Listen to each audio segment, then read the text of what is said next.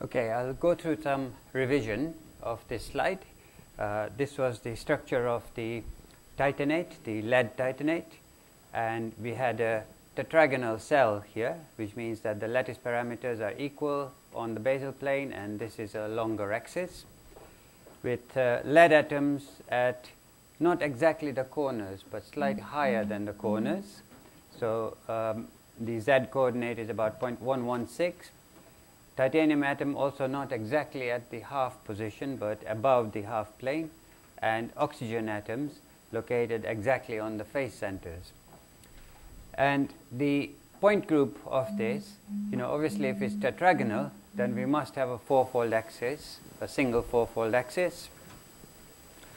And there are two mirror planes which are parallel to the fourfold axis. Uh, basically parallel to this face and this face passing through the center. So the point group is 4 mm and this is a primitive cell. Uh, the purpose of doing this exercise was that if you know the symmetry of your cell and you locate an atom at an arbitrary position, then when you operate by this point group, so a fourfold axis will produce this, this, and this, and the two mirror planes will produce the pairs that you see over there. So if you locate an atom at an arbitrary position, there must be eight atoms inside the unit cell. Um, if you locate it on the mirror plane itself, then there are only four.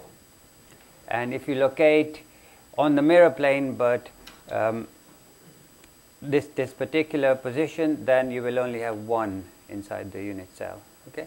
So the point group symmetry tables that you have here tell you how many atoms to expect in the unit cell depending on the position of that atom in the cell. And point groups ignore any translational symmetry because the translations involved are very small and when you look at a macroscopic crystal you don't see the very small translations. So I'm going to today introduce you to space groups, which are point groups including translations. So there's many more space groups than point groups. So obviously those translations have consequences on the properties of the material, but you can't see them if you're just looking at the macroscopic shape of the crystal because the translations are a fraction of the repeat distance. Yeah, like half the repeat distance or a quarter of the repeat distance. Okay, so these do not involve any translations. These are rotation axes and uh, these are operations which combine a rotation with an inversion through the center. Okay.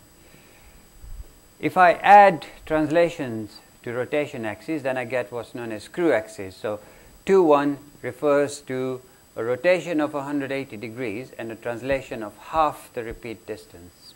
Okay? So 1 divided by 2 of the repeat distance between uh, the lattice points or and so on. Um, this is a rotation of 120 degrees and a translation of one third along the axis. Okay. Uh, translation of two thirds along the axis and Similarly, we have tetrads, uh, or screw tetrads. A glide plane, so in this case, the translations are all parallel to the axis, so it's operating like a screw. Yeah. If you have a mirror plane, so this is now a plane, it's no longer uh, an axis. I have an object here. I will generate another object. Uh, let me start with an object on this side. I'll generate another object on this side and then you have translations parallel to the mirror plane to reproduce the element. Okay? So there's a reflection followed by a translation which is parallel to the mirror plane. And that translation can be this way plus this way. Okay? That would be a diagonal glide. Right? So let me illustrate that. Yeah, so this is uh, now uh, an illustration of the fourfold screw axes. Uh, this is uh, 4 with a subscript 3. So this is a normal rotation axis. If I turn by 90 degrees, I recover this point here. And this is the repeat distance along that axis. Okay. So a 4-1 operation means I rotate this point uh, or this point by 90 degrees, okay, but I don't recover anything over here because I have to do a translation by a quarter of the repeat distance. Yeah? From here to here is a quarter of the repeat distance. Is everyone happy with that? Uh, in this case, I rotate by 90 degrees and translate by half the repeat distance, 2 divided by 4 of the repeat distance. Rotate by 90 degrees and translate by 3 quarters of the distance and you recover, sorry, rotate by 90 degrees and translate by um, 1, 2, 3 to recover the original position. Okay? So these are screw axes and involve translations parallel to the rotation. Now, in the case of glide planes, uh, an axial glide plane, uh, which is identified by a symbol A, B, or C, is simply a translation by half the repeat distance parallel to the mirror plane. Okay. A diagonal glide plane, which is identified by the symbol N, uh, as opposed to M for mirror, is a translation half this way and half this way, and therefore you are doing a diagonal glide. A diamond glide will involve translations of a quarter, and in the case of a body centered cubic uh, structure, we can have a diamond glide involving three translations A, B, and C. Okay. So, again, this is not something for you to remember, this is all in your notes, and we are not doing a memory exercise here, you just need to understand what we are doing. So, I'm going to deal with a crystal which shows all of these, uh, not all of these operations, but some of these operations. So these are glide planes which involve a reflection followed by a translation. Right, so this is uh, copper oxide, Cu2O, so two copper atoms and one oxygen atom in the molecule. Can you tell me what kind of a lattice type this would be, just by looking at this? Hmm? Um,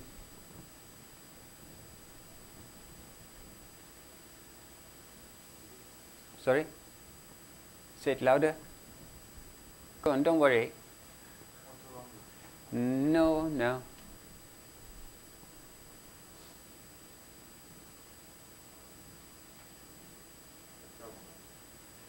No.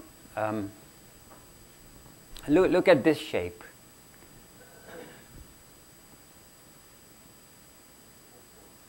Hmm? Yeah. Fourfold and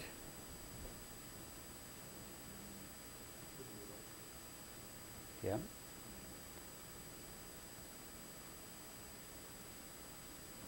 See, on these 111 planes here? Yeah, body diagonal planes. So it's what? Cubic. Yeah.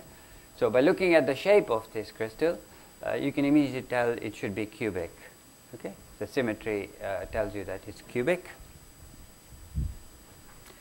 Of course, you know, normally you would measure angles, everything, uh, whereas you are just looking at an image, so it's okay to get it wrong. Yeah.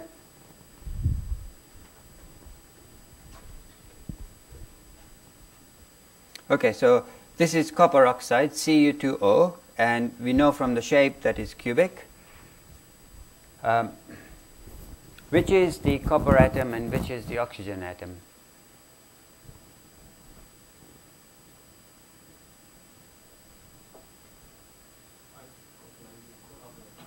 Hmm? Yeah, right. Uh, just by counting how many atoms we have in the cell, right? Okay. So um, this is um, 1 and then you add up the corner atoms that's 2 and these are 4 and therefore the white has to be copper because it's Cu2O. What is the lattice type?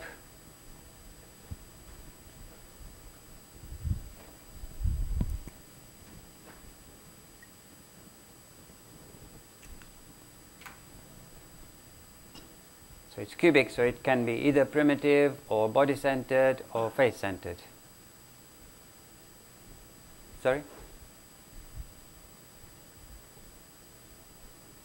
Don't worry, just say it loud.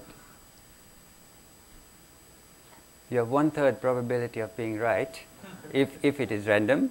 Okay?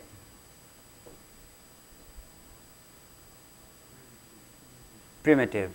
Um, because the environment of this atom is not the same as this atom, and similarly, the environment of this, where you know this is pointing in this direction, is not the same as the environment of this, and so on. So each one of those cannot be a lattice point. There's only lattice points at the corner. So this is a primitive cell, and you know it's it's actually quite difficult because it's a three-dimensional diagram and I don't recommend three-dimensional diagrams so I'm going to show you now a structure projection and there it will become very clear that it's a primitive cell. So here uh, are four of those structure projections. Uh, it's always good to draw four because then you can see the environment more clearly, right? Um, okay, so this one is located at a height half and half along here and half along here. These are at 0 and 1 and these are pointing upwards and these oxygen atoms are pointing downwards. Uh, sorry, copper atoms are pointing downwards, right? So clearly the environment of this is not the same as this. Yeah, because here we are going downwards, here we are going upwards in that bond. Okay? And similarly the environment of this uh, where we have two um, copper atoms pointing upwards is not the same as the environment of the one located at 1 where it's pointing downwards. Okay? So it is clearly a primitive cell and the motif consists of um, six atoms which you place at every single lattice point and the coordinates of those six atoms are copper atoms at quarter, quarter, three quarters, quarter, quarter, three quarters. Whoops, uh, sorry, that's minus a quarter, minus quarter, three quarters, and quarter, minus quarter, quarter, uh, and so on. And oxygen atom at the corner and at the body center. Okay? So we're placing a motif of six atoms at every single lattice point to generate our structure. Now, can you see that there is a 4-2 axis over here pointing out of the plane of the board. So that means a 4-2 means a rotation of 90 degrees and a translation parallel to the axis by half the repeat distance. Can you see that? So just stare at the diagram and think about what happens to, let's say, this particular atom. If you rotate by 90 degrees,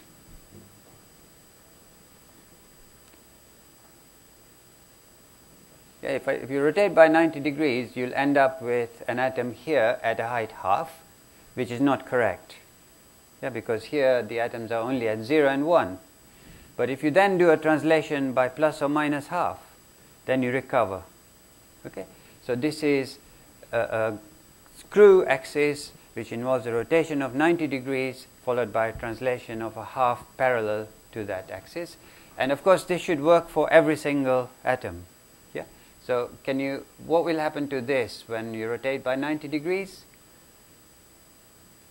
You'll end up with one here, but at a height quarter. And therefore, if you add a translation of half, you've recovered the one at three quarters. Okay? So that's a screw axis.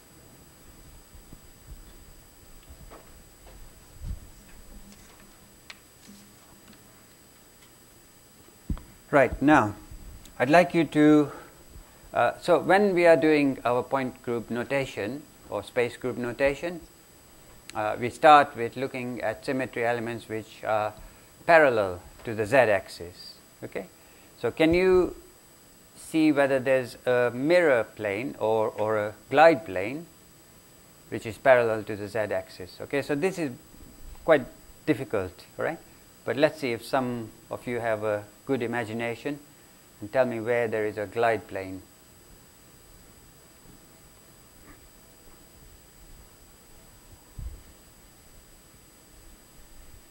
glide plane or mirror plane. Right? Mirror plane means no translations.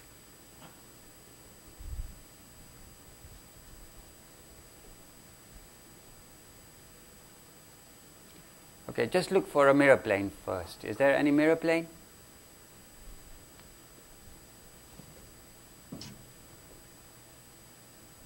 Yeah, uh, go, going this way, right? Yeah, that, that's perfectly correct. Uh, along the 110. Uh, so quarter reflects to quarter. Um, this one at 0 and 1 reflects to 0 and 1 and so on. Okay, so there are mirror planes on the 110 planes.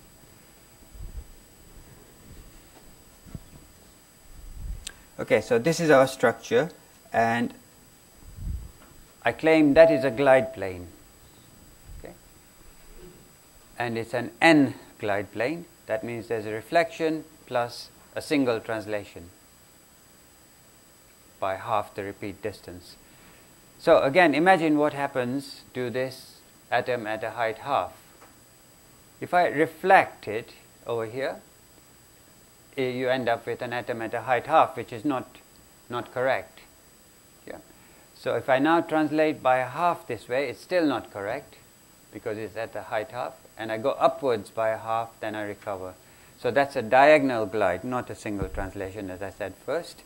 Uh, you reflect, translate by half and half upwards, and you've got an N glide. Yeah, is everyone happy with that? and that is parallel to the z-axis. So we'll add the symbol n for n glide. If we convert this into a point group, that would be pm, because you know in point groups there are no translations. Okay. Now, if I so is everybody clear about the meaning of a glide plane? Yeah. Uh, I did that for the atom located at a half, but supposing I did it for the one at a quarter, um, if I reflect it, wait a second, so yeah, if I reflect it, then I end up with, where do I, this distance, yeah, I end up with that, right? No? No, because this distance, uh, this is a quarter, this is a quarter, and this is a half. Okay, let's say we end up here. If I translate by half this way and half this way, I recover this position. Okay? So it should work for every single atom that when you do the glide operation, you should end up with an atom at that position. Okay? Right, everyone happy with that? Okay, so we've generated part of the uh, symmetry of this crystal and the reason why we are doing this is we want to again demonstrate that if you put an atom at a particular location you should generate an equivalent number of positions. We don't know how many those positions are until we complete this exercise. So the purpose is to solve the structure by using the symmetry of the cell. So now I want to look at uh, symmetry elements which are differently located. So given that this is a cubic crystal, okay, oops, you know, uh, this is like looking at the body diagonal, right? So clearly we must have uh, threefold axes, okay, uh, four, four triads. So the second symbol becomes uh, easy. After Pn, we must have a 3.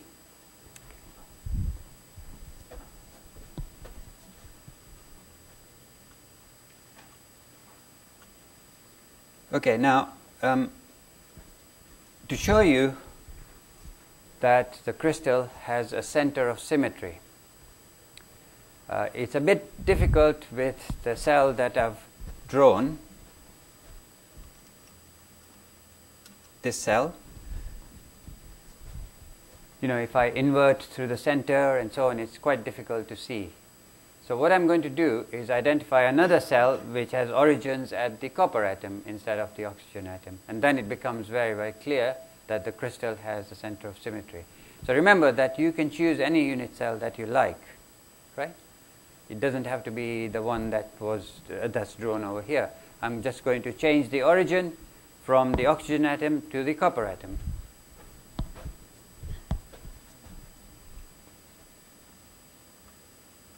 Okay, so I'm identifying this now as the cell with origin at the copper atom and you should be able to see that there is a center of symmetry at a height 3 quarters. Okay, so that is located at a height 3 quarters. So if I take an atom here which is at a height half, I pass through 3 quarters, then I end up with something at 1. And you know, you can do the same thing, 3 quarters, 3 quarters, 3 quarters. Yeah?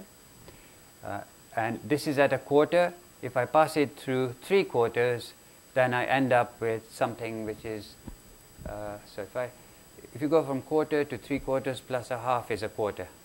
Yeah, okay.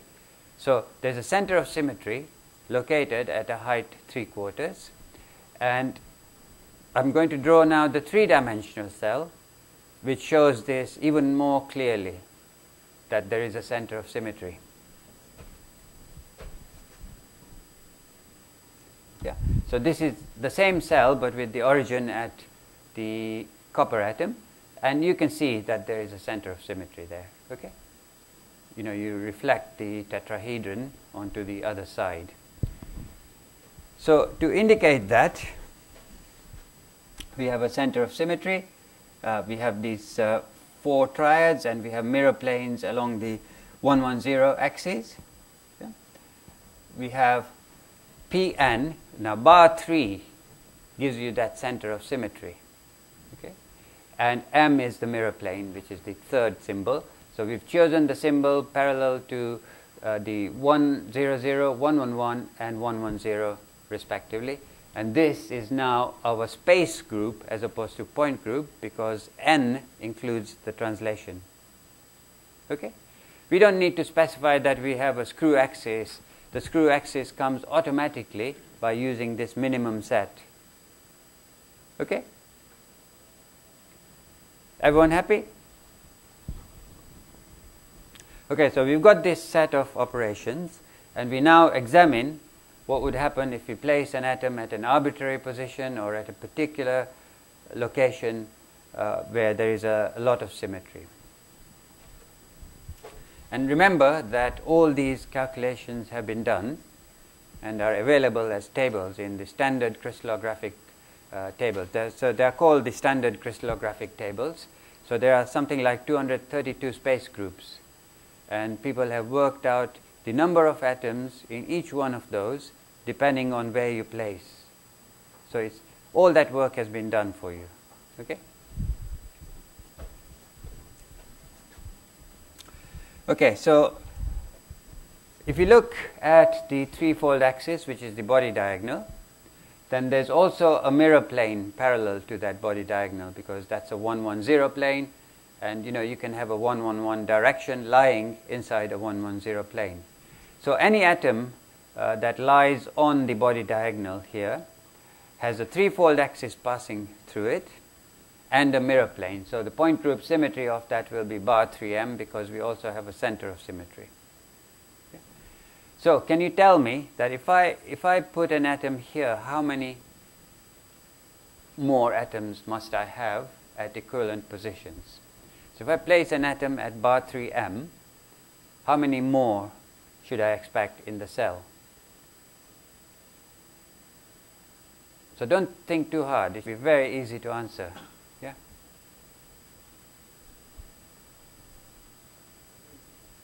Three more. Yeah? Because you're right.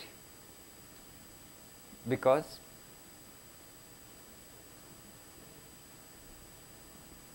Oh, uh, so so you've got the right answer, yeah, but the wrong reason. Uh, so at the moment I don't have these atoms. I've just placed one single atom at bar 3m. How do I know that these should also exist? So I've only got one single copper atom in the cell at the moment, which I've placed at a location which has a point symmetry bar 3m. Yeah. So in all of these things, you shouldn't think too hard, all right? You know, just think you've got a, an atom located on a bar 3. How many threefold axes do you have in a cube? 4. Okay? So if you place an atom there, you expect another 3. Okay? Is that clear to everyone? An atom lying on that threefold axis, there must obviously be three more atoms because there are four threefold axes, the body diagonals in the cell. Okay? And of course, if it's a threefold axis, then yes, you are right. There's a rotation symmetry which demands that if I place an atom here, there'll be another one here and here. But in the first instance, when you're just placing one atom, you need to indicate, you know, where, how many more atoms I'm likely to have in the cell of at equivalent positions. Okay? So don't worry about asking questions if you have some, all right?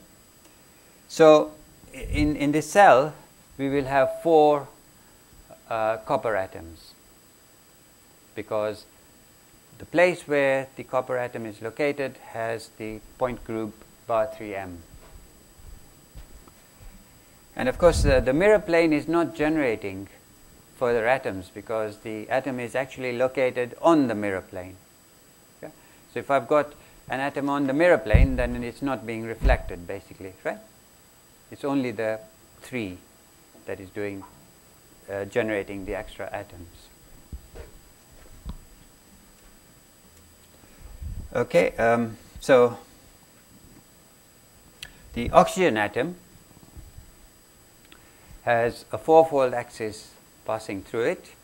Yeah, whether it's located here or here, uh, a fourfold axis, and uh, if it's located at the corner, then you also have the body diagonal passing through it, and the mirror plane is at 110. Okay. So how many uh, how many atoms have this combination of symmetry elements? Well, obviously the one at the corner has a fourfold axis passing out of the plane of the board. There's a mirror plane at the 110, uh, and there's a threefold axis passing through the body diagonal, right? The same applies to this. Okay? Therefore, we end up with two of these atoms inside the unit cell. Okay, so uh, I explained to you that all these uh, calculations have been done.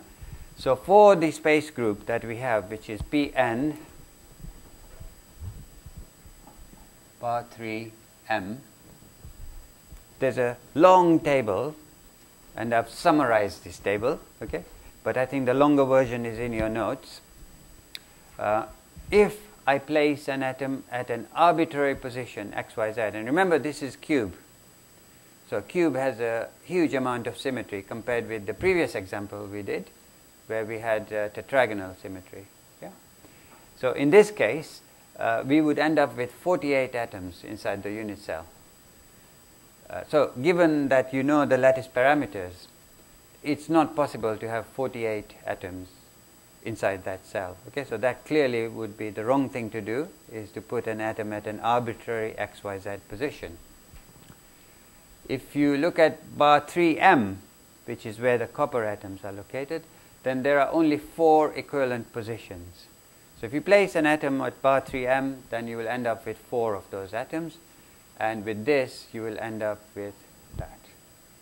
Okay two atoms at not not not and half of half. If you placed uh, um, uh, an atom on a mirror plane but at an arbitrary position on that mirror plane uh, so we are not specifying you know the values of x and z then you would end up with 24 atoms okay? so you would get the wrong density, you would get the wrong formula as well for copper oxide because you've analyzed this material and you know that it's Cu2O. So you need to compare with density and with the chemical formula and so on to actually determine the structure. Okay? So we've done two examples. Uh, one was the tetragonal structure and there, you know, only point groups were relevant to determine the positions of the atoms and the number of equivalent positions. Here we had the additional complication that there is also translational symmetry, uh, which is not trivial. In other words, you know, if you just go from naught to 1, that's also translational symmetry, but what we mean is fractional translations.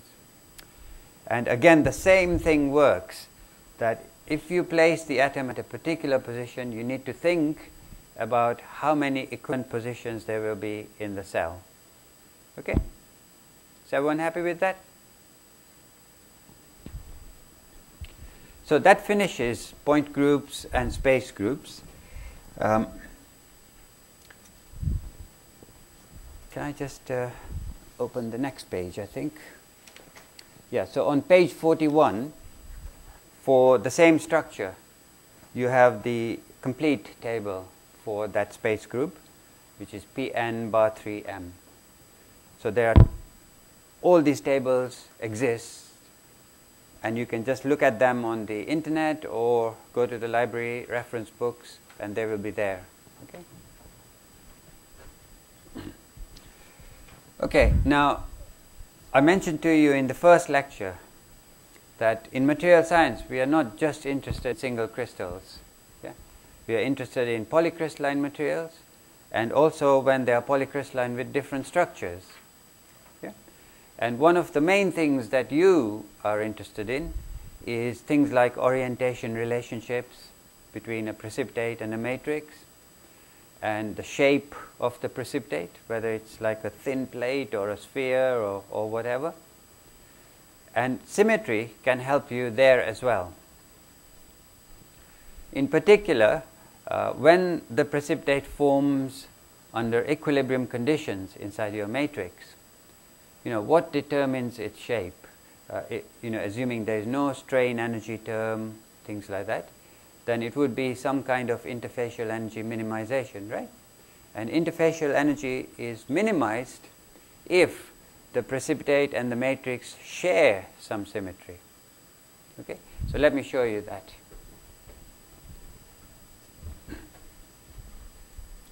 So we are now talking about transformations which are not like martensite, right? Because in those transformations, the strain energy term is huge and it completely determines the shape. The precipitate then adopts a shape which minimizes strain energy you know, the interfacial energy term is negligible compared with strain. Okay? So now I'm just talking about precipitates whose shape uh, depends mostly on interfacial energy minimization, and there's a lot of diffusion that happens during the transformation. Diffusion always relieves strains. Okay?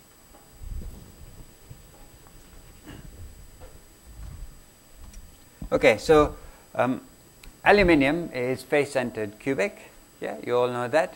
And its uh, point group symmetry is a fourfold axis with a mirror plane normal to that fourfold axis. Uh, obviously, there are four triads and then a twofold axis with a mirror plane normal to that twofold axis. Okay, so this is the symmetry element along the z-axis and then along the x-axis. And of course, we have the triads. And in aluminium silver alloys, uh, these are very strong alloys. You know, you get a very complex set of precipitates forming very high density. And at one point, they were they were proposed for some aircraft applications. You get a precipitate called omega, which has this point group symmetry. That means dyad with a mirror plane normal to that, and so on. So that's obviously an orthorhombic crystal. Okay. And when you measure the orientation relationship, the edges of the unit cell here are parallel to the close packed direction in aluminium, uh, close packed plane or direction, and the 101 close packed direction in the aluminium. So this is how you specify an orientation relationship. You find two directions in the precipitate which are parallel to two directions or planes in the matrix. Okay, you happy with that?